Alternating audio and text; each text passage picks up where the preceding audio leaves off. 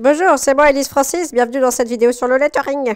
Coucou toi et bienvenue dans cette vidéo qui va être consacrée au lettering. Et moi je fais comme ça parce que je suis contente parce que ça fait longtemps que je voulais la faire. Je vais te montrer comment tu peux écrire joliment sans avoir fait bac plus 12 calligraphie. Avant de commencer, je veux juste faire un petit point capillaire. Oui, c'est rasé plus, plus court là. J'ai eu un petit accident de, de rasoir de type euh, pas de sabot hier soir. Donc euh, c'est un style un peu alternatif, on va dire. Donc voilà, euh, tout va bien. Euh, j'ai juste éternué en, rasant. Non, c'est faux, c'est mon mec qui m'a loupé. Mais bon, voilà, j'ai pas envie de l'afficher. Donc on va continuer tout de suite sur euh, la suite et le thème de cette vidéo. Alors, il faut savoir que je suis une fan de typographie et j'adore regarder comment les gens écrivent. Quand j'étais au collège, j'étais tellement obsédée par ça que je passais des heures, tu vois, à répéter les mêmes lettres jusqu'à ce que la façon d'écrire me convienne. Ouais, j'étais un peu... un peu... Je... Bon, je te laisse choisir l'objectif du coup. Alors, avant de rentrer dans le vif du sujet, j'aimerais euh, parler à ton muscle créatif pour le rassurer. C'est le jingle zen. Je voudrais désamorcer un truc, c'est que souvent quand tu regardes par exemple sur internet ce que font les gens dans leur boulet de journal, dans leur boulet de journaux, je sais jamais s'il faut accorder, euh, ça peut paraître assez euh, impressionnant, inaccessible, intimidant et ça peut décourager. Et c'est vrai que c'est souvent des letterings de ouf hein, et j'adore ça, je trouve ça vraiment somptueux. Mais j'aimerais qu'on reprenne ensemble la base du lettering, c'est-à-dire le lettrage. En fait c'est l'art de tracer les lettres, ce qui veut donc dire qu'il n'y a pas qu'une seule façon de faire. Tu vois c'est un c'est un peu comme la peinture. Il n'y a pas qu'une seule façon de procéder, tu vois. Si tout le monde faisait que du Picasso, bon, on se chier. J'aime beaucoup Picasso, mais... Alors voilà, j'aimerais vraiment que tu commences cette vidéo en, en, secouant les épaules, voilà, en te détendant, en te disant que tu es tout à fait capable de faire du lettering, ta version à toi, qui sera différente des autres, et c'est tant mieux, vive la diversité. Donc je vais te donner 5 techniques pour tracer ta propre lettre, ton propre chemin, ta route, ta destinée, rien que ça. Propulsé par mademoiselle.com. Technique numéro 1, zoom sur ton écriture. Alors tu vas voir mes 5 techniques euh, pour faire du lettering, elles sont très très liées. Euh, ça va te permettre d'aborder le lettrage euh, à ton rythme et progressivement. Et la première que je te propose, c'est simplement de, faire le point, tu vois, sur ton écriture manuscrite. Parce que peut-être que tu trouves le lettering cool, et que tu sais pas trop par quoi commencer, et eh ben ça tombe bien, tu sais déjà écrire, donc on va commencer par ça, parce que tu sais déjà faire. Parce qu'en fait, pour moi, un lettering réussi, le, quel que soit le résultat, il vient d'abord du fait de faire la paix avec sa propre écriture. Tu veux devenir être, être curieuse envers elle, de la regarder, puis de la façonner comme un petit artisan du stylo. Je te donne ma technique du collège, du coup. Euh, bah, ça commence d'abord par faire un état des lieux de ta façon d'écrire. Donc tu vois, tu prends une feuille. Moi, je, me mets... Euh, mon petit guide euh, comme ça qui me permet d'écrire droit. Euh, bah, je vais pas du tout me servir de ça, je vais me servir d'un stylo oblique noir, tout simple. Et puis bah, je vais écrire l'alphabet avec mon écriture normale. Alors j'essaie de pas trop, euh, tu vois, comme si c'était une écriture manuscrite euh, normale. J'essaie de pas tracer euh, joliment comme si je faisais des efforts, mais plutôt comme j'écris. Oula, le K et le L, ils sont, ils sont comme ça. Hein, ils sont... Ensuite, tu peux colorier ou surligner les lettres que t'aimes bien dans ton alphabet. Celles, tu vois, tu, te dis, oh, tout, trop cool, trop bien ce, ce, U ou ce T par exemple, tu vois. Et tu joues le jeu, hein, parce que je suis sûre qu'il y en a. J'aime bien mon M, j'aime bien mon E aussi. Mon A, mais j'ai passé tellement de temps à trouver la bonne façon de le tracer parce qu'au collège, petite parenthèse de A, euh, je voulais absolument le faire comme euh, tout le monde. Alors je sais pas si tu te souviens, mais euh, beaucoup de gens au collège ils faisaient des A comme ça. Moi je sais pas, j'arrivais pas à faire les A comme tout le monde, je disais ah mais c'est pas joli machin. Et donc des fois je faisais des trucs comme ça, des fois je faisais des trucs comme ça, enfin moi j'étais jamais contente. Et j'ai fini par arrêter de vouloir faire les A comme tout le monde parce que j'étais pas satisfaite et puis j'ai fini par faire les A euh, de manière euh, extrêmement basique. Et au début ça me frustrait et puis maintenant je suis là, bah c'est un A et tout va bien. C'était l'histoire du A. Le X aussi je l'aime bien parce que je, trouve ça rigolo de le faire comme ça plutôt que juste une croix, mais c'est très, très personnel. Félicitations, vous êtes mes préférés. si tu n'aimes pas du tout ce que tu es en train de faire et que tu te dis que ça sert à rien, que t'es nul, que c'est moche, tu t'arrêtes. Tu te saisis d'une petite poubelle juste là et j'aimerais que tu le fasses, tu vois, en même temps, vas-y, va chercher la poubelle. C'est bon, tu l'as? Ok, cool. Alors j'aimerais qu'on jette ensemble, tu vois, tous tes jugements, toutes tes critiques, toutes tes craintes. Allez poubelle, poubelle. J'ai rien à jeter, mais poubelle. Et on continue, ok Cool. Donc tu vois en bleu, c'est les lettres que j'aime bien. Et j'aimerais que tu sélectionnes, s'il y en a, des lettres que tu aimerais retravailler, que tu aimerais bien améliorer. Je vais choisir le, le G, le T et le Q. Le cul, euh, le cul, je... J'allais dire le cul, je galère toujours. La vidéo bouffe d'Elise Francis. Si tu commences à retravailler plusieurs lettres en même temps, tu vas t'y perdre et tu vas galérer à insérer des nouveaux types de, de graphismes. Donc autant te concentrer sur trois lettres. Je pense que le bon ratio, euh, pour avoir essayé, c'est de faire une semaine par lettre. Donc par exemple, euh, le G, tu vois, je vais le retravailler pendant une semaine le Q aussi, le T la semaine d'après. Donc comme ça, voilà, j'ai le temps d'insérer progressivement une nouvelle technique. Sounds good? Ok, donc j'ai mes trois lettres et ce que je vais faire, c'est que je vais faire un tour sur un site de typo, euh, celui sur lequel je vais, et d'ailleurs je n'en connais pas d'autres, je pense que c'est parce que j'ai jamais cherché, c'est Dafont, et je vais chercher une typo dont j'adore les lettres, et je vais taper bah, plusieurs fois le Q, le T et le G. Et comme ça, je me retrouve avec, euh, avec mes lettres juste ici. Et ce que je vais faire, c'est que je vais mettre une feuille de papier calque et que je vais répéter plusieurs fois la même lettre. Tu vois, c'est comme apprendre une chorégraphie à ton poignet. Puis au fur et à mesure, il va être là, ouais, bon, je connais pas, et puis, et puis il va savoir faire tout seul. Là, c'est pour que tu vois bien. Et tu vois, comme le coloriage, je dépasse. Mais c'est pas grave. L'essentiel, c'est de comprendre. Donc c'est un petit, tu as une petite boucle et une grosse boucle. Je pense que c'est aussi cool de capter dans quel sens, dans quel ordre tu traces la lettre. Tu vois, par exemple, le premier coup, j'ai commencé par la barre, alors que Jamais dans la vie tu commences par la barre ou par le point du i avant de tracer le i, ça n'existe pas. Je crois que j'ai envie de changer de stylo. Parce que oui, ne sous-estime pas en fait l'outil avec lequel tu traces parce que moi mon, écriture est totalement différente selon que j'écrive avec un stylo bic, un, feutre d'une pointe assez grosse ou un stylo encre par exemple. Donc ça aussi il faut parfois juste apprivoiser euh, l'outil avec lequel tu préfères tracer et euh, qui te permet d'avoir l'écriture la, plus satisfaisante. Ah Là, on tient le bambou. Alors, ce qui peut être cool, c'est que juste derrière, tu peux continuer à tracer ta lettre sans modèle. Là, typiquement, on peut dire que mon poignet a bof retenu, euh, que ça mériterait bien de faire une deuxième ligne, par exemple. Voilà, donc ça, c'est vraiment pour aborder le lettering en partant de ta propre écriture. Il faut suivre l'instinct de tes doigts et de, et de ton poignet. C'est important. Cette typographie s'appelle Shorelines. Euh, je l'ai trouvée sur Dafont, voilà, elle est très très bien. Oui, Dafont. Dafont, Ok, bon, alors pour éviter toute forme de commentaires de type l'œil je tourne, peut-être on dit Dafonte, parce que a tu vois. Peut-être on dit Dafont. Technique numéro 2, le lettering avec un simple stylo. Comme ça. En fait, la technique que je vais te montrer, c'est du lettering, mais sans avoir à utiliser une pointe calligraphie ou, une, ou un feutre à pointe calligraphie.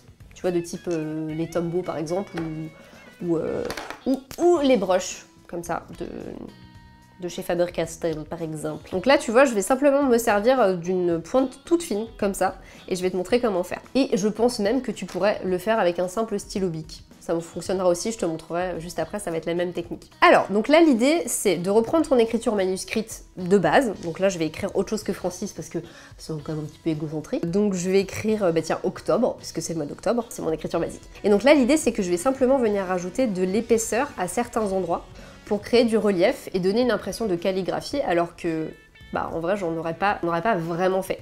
C'est de la triche et ça fonctionne très très bien. Donc ce que je vais faire, c'est que je vais venir rajouter de l'épaisseur dans la lettre, à l'intérieur de ma lettre et toujours du côté gauche. C'est spécifique, je sais.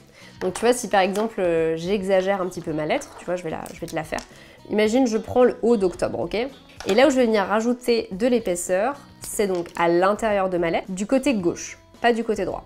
Donc je vais toujours venir rajouter ici de l'épaisseur. Tu vois, là je me mets à l'intérieur de mon haut, du côté gauche, et je mets de l'épaisseur. C'est à l'intérieur de ma boucle, hop, je rajoute de l'épaisseur. Ce que je peux faire aussi, c'est venir mettre un tout petit peu d'épaisseur toujours à l'intérieur de la, de la lettre, dans mon B.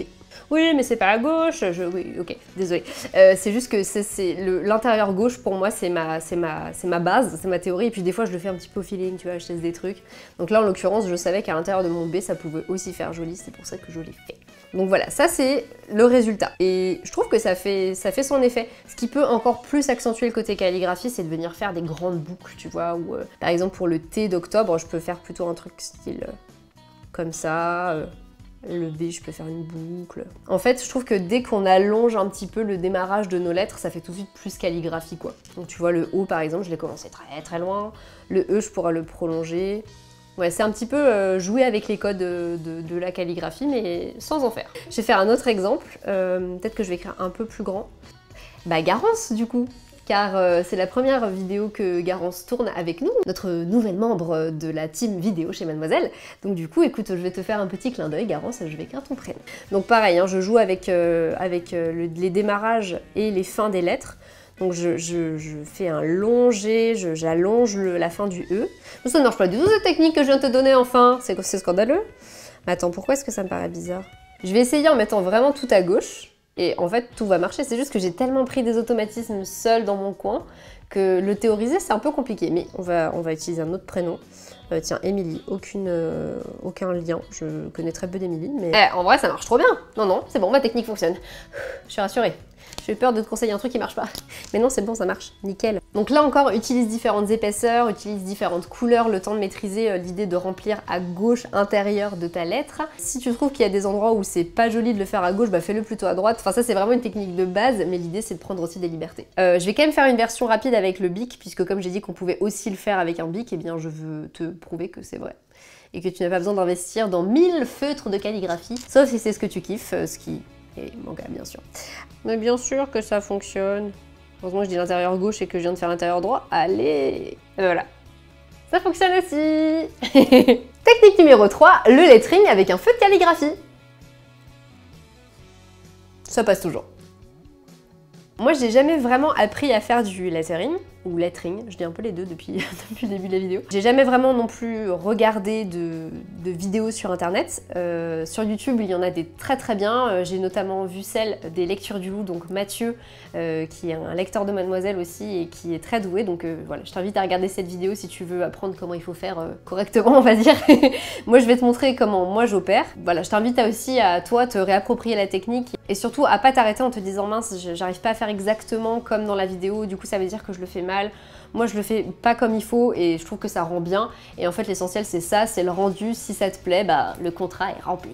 Pour faire ce type de lettering, de lettering, euh, tu as le- les tombos hein, donc, qui, qui sont assez connus sur le net parce qu'ils sont à double embout et que tu peux les, tu peux venir les aquareller, tu peux faire plein de trucs avec eux, c'est hyper cool. Donc voilà, ils ont une pointe euh, large de calligraphie sur la base et puis fine tout au bout. Donc ça te permet d'avoir euh, aussi bien euh, des tracés très très fins, très précis et aussi des euh, tracés plus larges si tu appuies sur la pointe. Mais tu peux aussi prendre, tu vois par exemple là j'en ai une beaucoup plus fine de chez Faber-Castell. On va pas faire que tracer d'été hein, parce que sinon on va se faire chier. je joue simplement avec l'idée d'appuyer plus ou moins fort sur ma mine. Et ce qui permet aussi d'avoir une cohérence euh, graphique à tes lettres, c'est d'avoir la pointe qui est orientée toujours dans la même direction. Là c'est l'orientation on va dire habituelle de ma main, tu vois. Je vais la laisser toujours comme ça et je vais essayer de pas trop changer de direction euh, au cours de mon mot. Donc là je fais fin, épais, fin, épais. Et tu vois, regarde l'orientation de ma main, elle change pas. Sauf que là, je viens de me louper, yes. fin, épais, fin, épais, fin. Épais, épais, fin, épais. On peut faire une très bonne chanson. Fin et épais. Faut un peu le réfléchir au début parce que t'es là, tu sais, quand t'écris, t'es là, et du coup tu, fais un petit peu du Mozart avec ta main. Là, il faut vraiment te dire, faut te concentrer et te dire, ok, je change pas l'orientation de ma main, je change pas l'orientation de la main. Et au début, ça va être hyper long et tu vas mettre du temps et c'est pas grave. Mais ça, pour moi, c'est vraiment le truc de base. Garder l'orientation de la main et ensuite jouer avec l'épaisseur euh, de ta plume. Enfin, de ta, de ta pointe. Pour savoir là où j'appuie plus fort, là où le tracé sera plus épais, je garde en tête la logique que je t'ai montrée tout à l'heure. Donc c'est-à-dire là où je rajouterai de l'épaisseur, comme dans la technique euh, de tout à l'heure, c'est là où je vais appuyer plus fort. Donc en général, c'est à l'intérieur des lettres que j'appuie plus fort. Par exemple, si je reprends euh, hein, par exemple, là je vais faire tout fin, tout fin, tout fin. J'appuie plus fort. Tout fin, tout fin. J'appuie plus. Ah, je me suis loupée, c'est pas grave. J'appuie plus fort. J'appuie plus fort fort. À l'intérieur en fait à chaque fois que je viens à l'intérieur de la lettre j'appuie plus fort l'intérieur de mon E j'appuie plus fort. Yes. Tu vois donc j'ai écrit garçance euh, pour aucune raison mais c'est la preuve que même moi je continue à être concentrée sur ce que je fais et pas du tout sur ce que j'écris. Donc voilà j'espère que ça va te faire rire et te détendre et que tu vas te dire que voilà c'est tout à fait normal de ne pas écrire le mot de manière consciente mais d'être concentré sur le tracé. Voilà garçance bienvenue ça me fait plaisir. Beau baptême. En fait, moi, je suis toujours encore en train de rechercher euh, des autres façons de tracer les lettres parce que tu vois, il- un peu comme euh, j'ai pu faire avec mon écriture manuscrite, il y a encore des lettres que je trouve pas forcément très bien tracées. Mais c'est pas grave, en fait, c'est du work in progress, quoi. Tu vois, tu continues à, à, travailler ton écriture au fur et à mesure euh, du temps, voire des années. C'est pas un truc qui se fait du jour au lendemain, il faut avoir un peu de patience et il faut surtout être motivé, je dirais, et, et, curieux au final. Et c'est ça qui va te donner envie d'y retourner, quoi. Technique numéro 4, les alternatives à l'écriture manuscrite. Alors le lettering c'est super, mais tu peux aussi imaginer des mots avec autre chose que des stylos. Tu peux par exemple te servir de tampons euh, lettres, donc tu peux les, tu vois, tu peux les superposer, tu peux les inverser, euh, tu peux mettre différentes couleurs. Rien qu'avec ça déjà t'as de quoi faire. Je m'en étais servi de manière classique pour le coup pour le bullet journal de septembre, tu te souviens sur, des, sur du craft. Si t'as plusieurs tampons de lettres, tu peux les mélanger entre eux, ça peut être rigolo aussi. Et bien sûr tu peux aussi te servir du découpage parce que ça peut donner des mélanges intéressants. Ou alors donner l'impression que t'as kidnappé quelqu'un, c'est c'est un risque. Tiens, on va en faire ensemble. Regarde, j'en ai euh, ce bon vieux flou. J'ai toujours pas d'action chez eux, hein. c'est juste que c'est un des seuls magazines papier que je continue à acheter. Je vais plonger dedans. Oh bah regarde-moi ça, regarde-moi ça comme c'est beau. C'est joli ça. Qui a fait ça? Illustration Clarice Gifford ou Gifford, je ne sais pas comment ça se prononce. Ah oui, il faut savoir que j'ai pas de remords d'arracher une page dans un magazine. Hein. Je vais écrire courge, parce que pourquoi pas. Ouais, je pense que ça peut être marrant de couper bien autour du C de, la lettre, ou bien de carrément faire juste un carré. Euh, voilà, tu peux, varier les formes. Regarde, on fait de la récup, je récupère ce haut pour courge. pourquoi gâcher, c'est déjà. Tu peux jouer avec les tailles aussi, hein. le but c'est de pas forcément euh, faire un mot où toutes, les, lettres ont la même taille, au contraire c'est beaucoup plus rigolo quand il y a des petits, des gros, des majuscules, euh, des écritures attachées, tout ça. Hop, voilà, j'ai toutes les lettres qu'il me faut et je vais donc pouvoir coller cette merveilleuse courge avec le plus petit jet du monde. C'est si drôle. Et voilà Technique numéro 5, cultive ton inspiration. Pour imaginer ta propre façon de tracer les lettres, tu peux bien sûr aller chercher de l'inspiration sur internet, hein, c'est quand même euh, la base j'ai envie de te dire. Mais j'ai encore mieux.